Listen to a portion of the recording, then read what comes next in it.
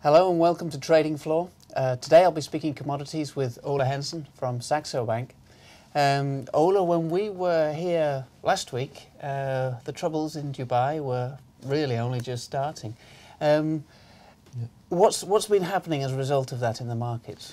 Well, there was a bit of a storm brewing uh, when we spoke last uh, last week, and that really came to uh, full fruition on Friday morning where we saw some pretty dramatic drops uh, in, in commodity markets. We saw the dollar strengthen, we saw the yen yen strengthen. So uh, there was a lot of risk adversity coming into the market. Obviously, now in hindsight, it turns out to be a bit of a blip. Um, gold, for instance, uh, fell 5% on Friday. That's since rallied 7%. We made new all-time highs this morning.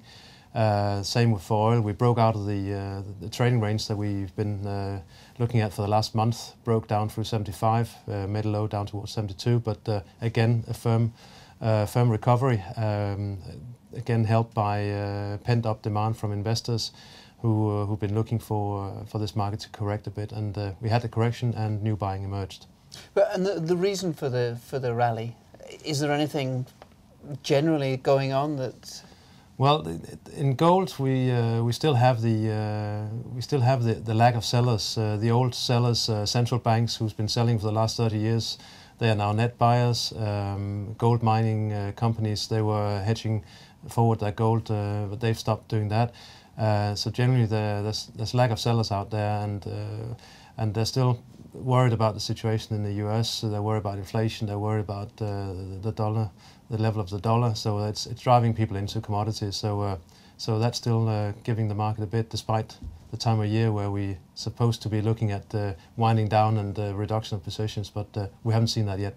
Yeah, the, the ISM manufacturing figures from the US yesterday didn't really give a clear picture about what might be happening with manufacturing industry in the mm. US. No, it didn't have much of an impact. What did have an impact yesterday was the manufacturing numbers out of China, which still shows uh, shows an increase and obviously China caters for what nearly 32% of the global oil consumption. So, uh, so that that did have an impact yesterday, and that helped oil to uh, to reach to the the higher echelons of our current range. Okay, so is risk aversion gone from the market now, or is it likely just uh, waiting around the corner? I think it's uh, gone but not forgotten. Um, what we've seen uh, in Dubai is obviously uh, the, what what can happen if we have a sovereign uh, debt default.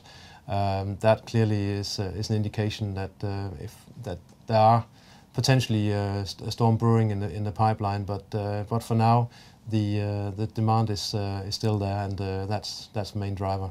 What, what's it looking like technically at the moment? We are we're still in the 75 to 82 uh, dollar range. We uh, we saw the breakout last week, and that technically the, is pretty strong. Uh, that the fact that we bounced straight back into the range. So so for now, technically the picture is still pointing higher. we've got resistance at uh, $80, uh, followed by a major one at 82. Um, but as I said earlier, the uh, the time of year um, is makes it a bit difficult to see uh, us breaking much higher than that for now. Um, potentially 85 if we should have a have a breakout before end of year. Uh, but for now, the main focus I think will slowly switch to to a position squaring ahead of ahead of the year end. Okay. And what about the inventories? How are they looking at the moment?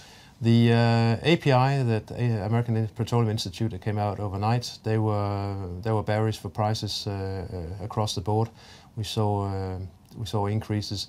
Today's uh, more more important EIA numbers are looking for a small drop, um, but it's, it's still pointing the picture of the the situation we have that the the developed world is uh, the demand is, uh, slack, and uh, the emerging markets is where the demand is coming in from. Okay, and and where does that leave us now, short term?